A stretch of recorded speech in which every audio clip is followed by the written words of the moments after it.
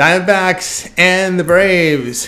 MLB pick for action here on Thursday. Zach Gallen gets the start for Arizona. Gallen in 20 starts, ERA 3.14, whip of 1.8. The fifth year right hander fans 26%, 5.5% walks. The ground ball is 38%, 0.73 home runs per nine innings.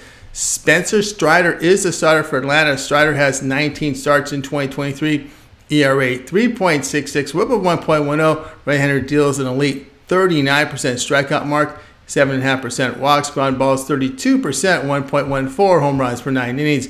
Braves 16 and 7 of the over at home facing NL teams, allowing 4.5 runs per game or greater. Strider 9 and 1 to the over at home, one favorite at minus 110 or over. Both lineups hitting Gallon Gallen ERA over 5 on the road. Strider 4.30 ERA at home. Dave bullpen ERA approaching six past 10 games. Play here, Arizona, Atlanta, over total of eight and a half runs.